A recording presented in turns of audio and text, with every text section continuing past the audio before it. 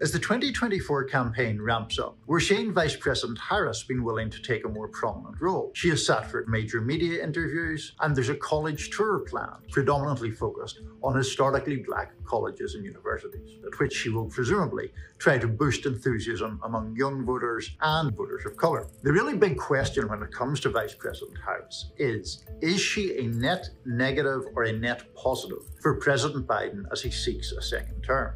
Harris is obviously a historic figure, the first woman and the first person of colour to serve as vice president. On the other hand, there are very real questions about her popularity, and those questions are sharpest when it comes to independent voters. In one recent poll, independent voters disapproved of her job performance by about two to one. The scrutiny on Harris is obviously going to intensify as time moves on, and she'll have to find some kind of answer to that question.